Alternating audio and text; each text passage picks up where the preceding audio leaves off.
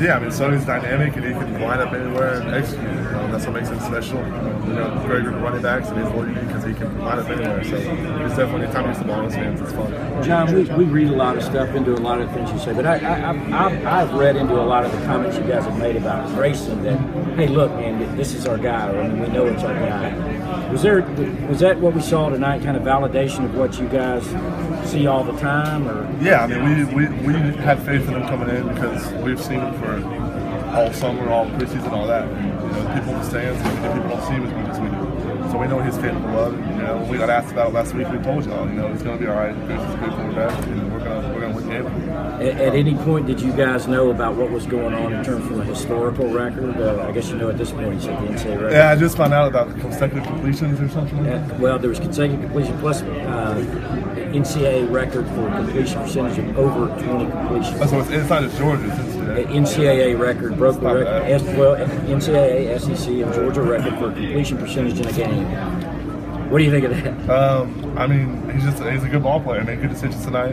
Um, coach put him in great situations. We executed. Um, guys ran the routes. I think he would tell you it's a team effort, um, but he definitely did a great job individually. Um, and you know, to have the mental toughness and fortitude that he has, and just come out and ready to just really just play lights out, um, shows us a lot. And we know from the get go that he was, you know, going to be able to be a good player for us. And now everybody else knows as well. Almost uh, lost in all this is like a clubbing of the, an SEC East opponent over there. I mean, it's a statement made, maybe. Um, I mean, we come every week to try to play our best, and that's what we got to do in this league. Um, South Carolina's always had a good team, and anytime we beat them, it's big. Anytime we beat the SEC East opponent, it's big. Um, but yeah, to beat South Carolina in that manner um, definitely feels good. Um, I think we just put a complete game together: the offense, defense, special teams, um, each position. Um, really came out to play, and you know, if we play to the best of our ability, we can play with anybody. So that's our goal every week. Did you notice a difference with during the week with Greyson? I mean, was there a different demeanor amongst him, or was it just even keel that he is? Nah, I mean it's the same. You know, it's the same every week. Um, we, we know what we have in Greyson, and you know we, we don't.